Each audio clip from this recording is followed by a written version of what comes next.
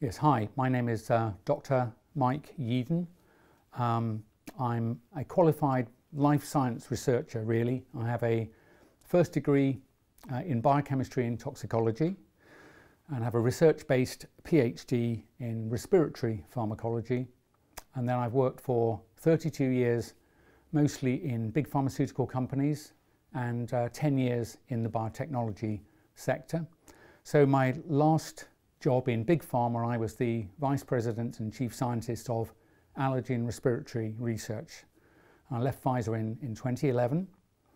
Uh, and then after that, I founded, grew and sold a biotech company called Ziarco to Novartis. That was 2017. Um, and so before that and afterwards, an independent um, advisor to over 30 startup biotechnology companies.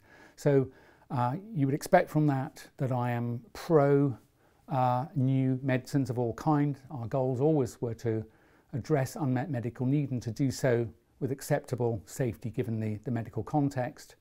Um, and I'm in favour of all modes of new medical treatments, whether they're biologicals or vaccines, small molecules, creams, sprays, ointments, whatever.